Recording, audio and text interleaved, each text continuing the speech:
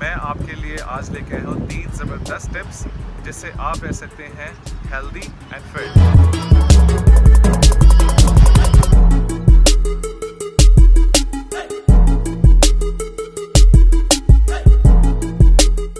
मेरा weight 74 KG था, और I was very upset about my weight लेकिन क्या हुआ? मैंने टिप नंबर वन जो अपने लिए इस्तेमाल की, उसने वाकई ही मुझे बेनिफिट दिया। और वो बेनिफिट था। Whenever I use to wake up early in the morning मैं गर्म पानी का इस्तेमाल करता हूँ। गर्म पानी से क्या होता है कि आपका जो बॉडी है वो अंदर से डिटॉक्सीफाई होता है और आपके अंदर के जितने भी फैट्स होते हैं वो सारे बर्न हो जाते हैं। सो so, ये था tip number one tip number two tip number two ये है कि जब भी आप रात में अपना मेन मील लेते हैं जिसे हम डिनर कहते हैं जब भी आप डिनर करते हैं तो डिनर के बाद एटलीस्ट एटलीस्ट आप 15 मिनट से आधा घंटा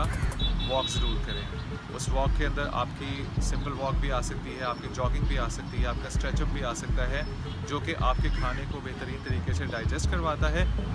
And last tip number three this is one of my best जब भी आप दोपहर में अपना खाना खाते हैं, जिसे हम लंच कहते हैं whenever you are going to take your lunch आप अपने लंच में फ्रेश सैलड का ज़रूर इस्तेमाल करें guys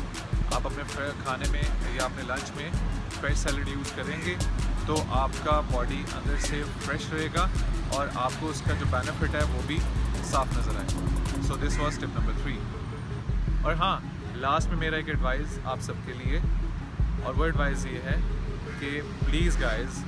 take care of your health अपनी हेल्थ का ख्याल रखें give your time to your health otherwise your health will not give you the time thank you so much